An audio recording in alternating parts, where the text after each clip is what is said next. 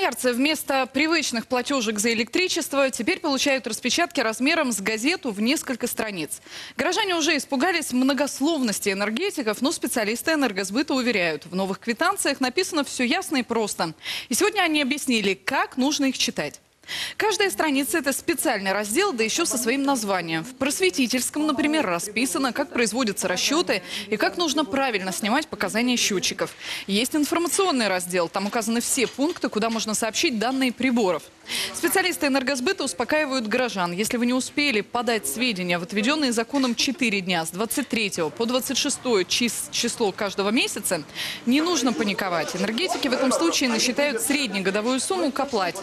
И замечу, что такие подробные квитанции красноярцы будут получать теперь регулярно. Обращаем внимание потребителей, пожалуйста, передайте нам правильные показания, и будет сделан перерасчет уже по вашим фактическим показаниям в следующем месяце.